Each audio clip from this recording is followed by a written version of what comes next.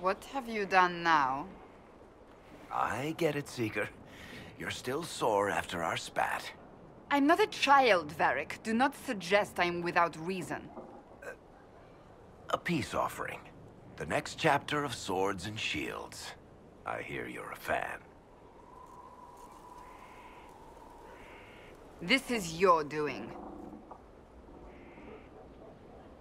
Oh, yes. Do you really think I'd miss this? Well, if you're not interested, you're not interested. Still needs editing anyhow. Wait! You're probably wondering what happens to the Night Captain after the last chapter. Nothing should happen to her. She was falsely accused. Well, it turns out the guardsman... Don't tell me!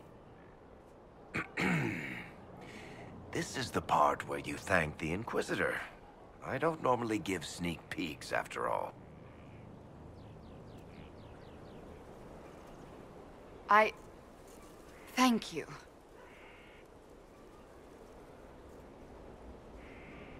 Varric's the one you should be thanking. I am but a humble servant to my loyal readers.